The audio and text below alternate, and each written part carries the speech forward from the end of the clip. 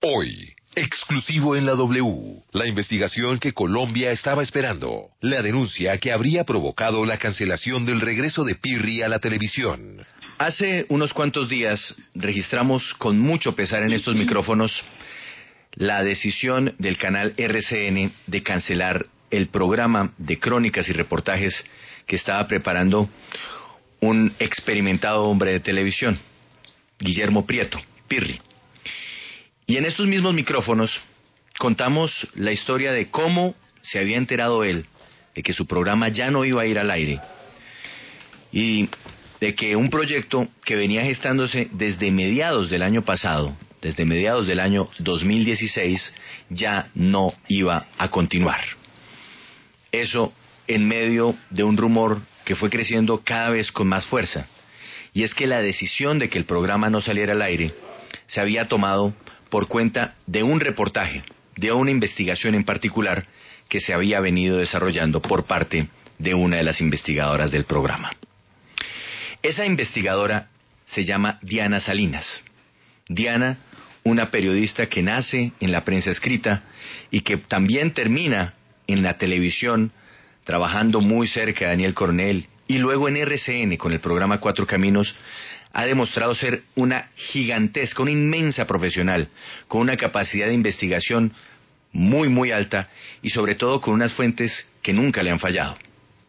Diana empezó a trabajar desde el año anterior, cuando se vincula al equipo de Pirri, una investigación que versa sobre un congresista, el presidente del Congreso, el senador Mauricio Liscano. Esa investigación alcanzó ella a desarrollarla casi hasta el final. Y cuando digo casi, es porque le faltó solamente una entrevista. La entrevista al senador Mauricio Liscano. La entrevista de cierre. La entrevista clave para concluir la historia. Hoy, Diana Salinas se encuentra aquí, en los micrófonos de la W, para revelar esa investigación, todos los detalles, toda la información la denuncia que Colombia estaba esperando, la denuncia que habría sido la causante de la cancelación del programa de Pirri en el canal RCN. Bueno, Camila, recordará usted que si algo caracteriza el formato de Pirri en sus reportajes y crónicas, es que se presenta la historia, se hace la denuncia y al final él hace un comentario, ¿no es cierto? Sí pues tenemos con nosotros a Pirri en línea para que él haga el comentario de cierre, para que haga su editorial respecto a lo que acabamos de escuchar aquí en la W. La historia de la denuncia que finalmente no se pudo publicar en su nuevo programa de RCN, que ya no es nuevo porque ya no existe, y la versión o la respuesta que da el presidente del Senado, Mauricio Liscano, al respecto. Pirri, gracias por estar con nosotros. Bienvenido a la W. Bueno, muchas gracias a ustedes. Estaba muy atento oyendo toda la toda la investigación de Diana. Quiero primero que todo saludarla y felicitarla por la por la decisión que tomó. Ella lo discutimos mucho y ella tenía su tenía ciertos un temor que le puede dar a un periodista por las consecuencias, pero asumió, retomó el tema por su propia cuenta y lo ha sacado y creo que eso le hace le hace un grande favor al periodismo. Gracias. En cuanto a lo que yo qué diría, pues, eh, mire, yo creo que mi editorial al final del programa hubiera sido algo así como, no le podemos probar de ninguna manera a la gente si este señor infirió o utilizó sus influencias para sacar nuestro programa del aire.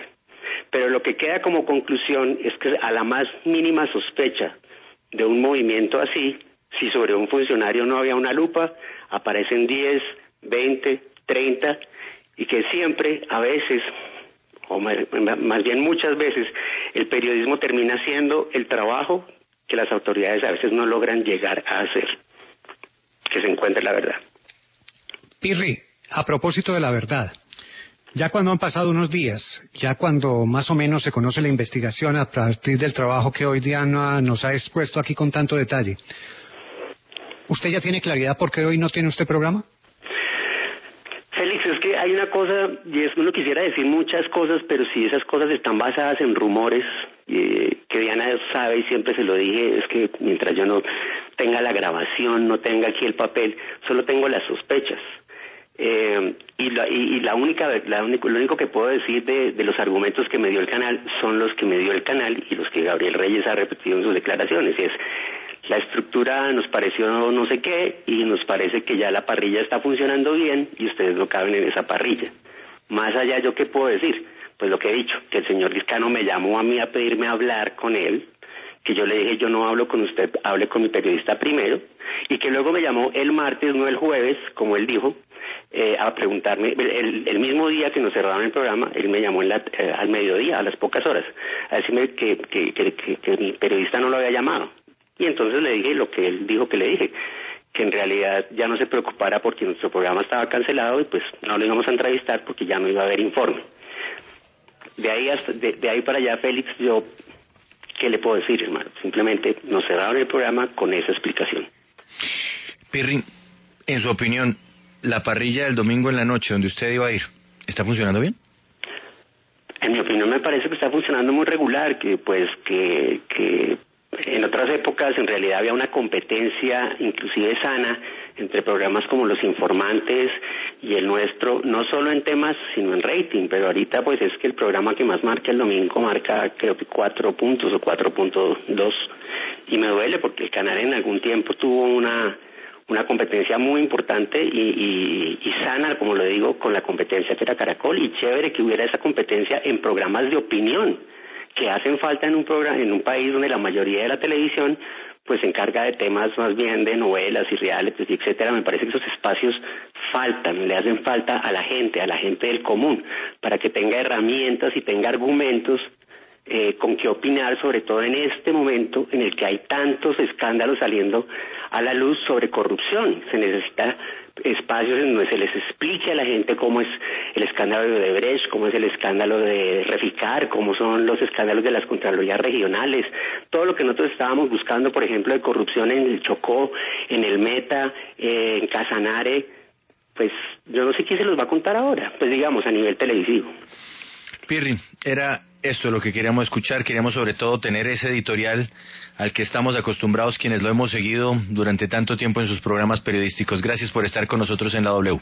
Bueno, muchas gracias a ustedes y un saludo a todos los colegas en la mesa de trabajo y a los oyentes de la W. Diana, muchísimas gracias también por haber acompañado esta mañana y sobre todo por, por compartir con los oyentes de la W esa investigación. Quedo inmensamente agradecida con la oportunidad que ustedes me han brindado con Julio y con Pirri Muchas gracias. Ahora lo que queda es transitar un camino de búsqueda de trabajo.